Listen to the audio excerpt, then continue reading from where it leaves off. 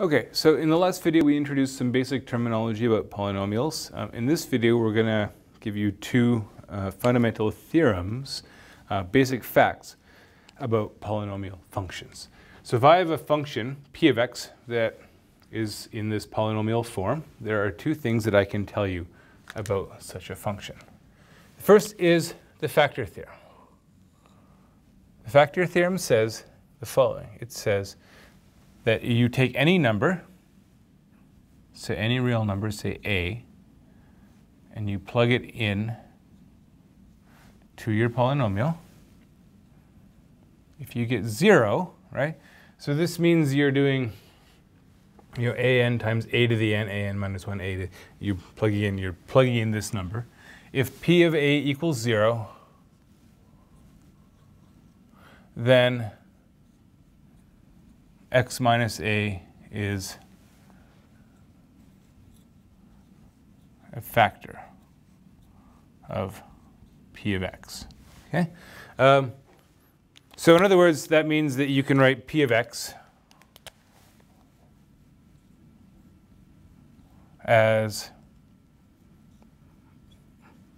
x minus a times some other polynomial q of x. So q would be a polynomial whose degree is, is one less than the polynomial you started with.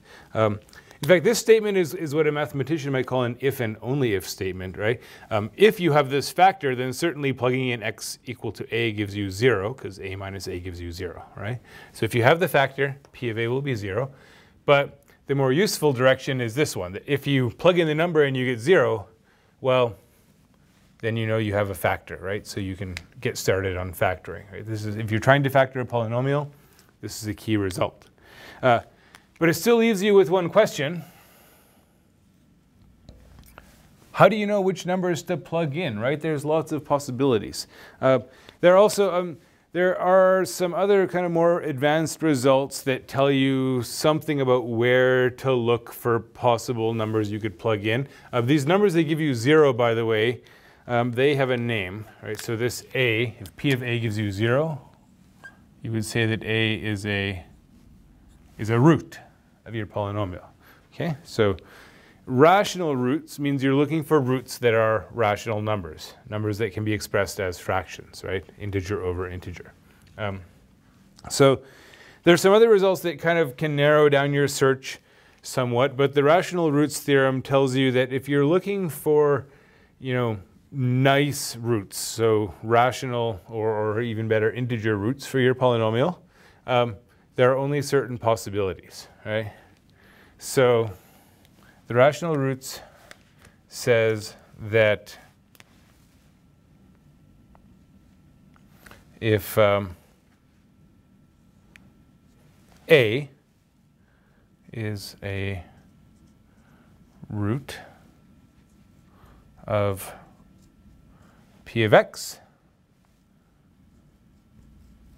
with a equal to, let's say, um, well, maybe I shouldn't use p, m, say, oh, actually m is not great either. Um, I was running out of letters. Um, u over v. Um, so u and v here are integers. Um, what can I say about these integers u and v? Well, it turns out that uh, at least, you know, I guess we should probably say that we're in lowest terms here because we could multiply and make u and v really big. Uh, if u and v are in lowest terms, um, let's specify that. Then you can say something. You can say that this uh, a0, the constant term, is divisible by um, u, and an is divisible by v. It's one way to say it, okay? Maybe there, there's nicer ways of saying it, but this is one way of saying it. Okay, so so the way this works in practice is you're looking for rational roots. So what you do is you, you look for all the numbers that divide evenly into the constant term. You look for all the numbers that divide evenly into the leading term, the leading coefficient. And you use those to form fractions, okay? And only fractions of that form are possible roots for your polynomial. You don't have to consider any other possibilities. Uh, so let's, let's try a quick example. And if I just kind of write down a polynomial at random, there's always, there's always a chance that it doesn't have any rational roots at all, okay? So let's, uh,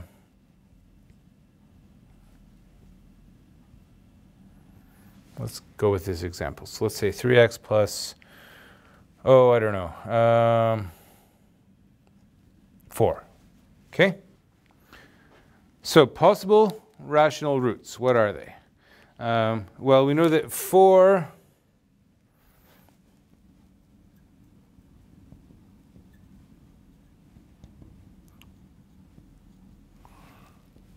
Four is divisible by plus or minus 1, plus or minus 2, plus or minus 4, right? Uh, 2 divisible by plus or minus 1, plus or minus 2. So that means that the possible roots, the ones that you would consider, are going to be, well, I could take plus or minus 1 divided by plus or minus 2. So I could have um, plus or minus 1 half. I could have plus or minus 1 over plus or minus 1, right? So plus 1, minus 1, those are possibilities. I could do plus or minus 2 over plus, so that would be plus or minus 2. Um, if I do 2 over 2, that gives me 1, already got it. 4 over 2 gives me 2, already got it.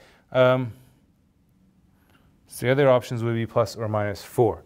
Um, so that's a total of, of eight numbers to consider, right? Which is still a fair amount of work, but it's better. It's better than you know just randomly guessing, right? At least at least you've narrowed it down to eight possibilities. Uh, so how do you figure out if any of those actually work?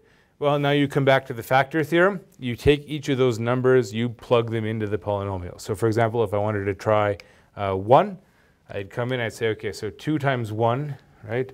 So I could do p of 1.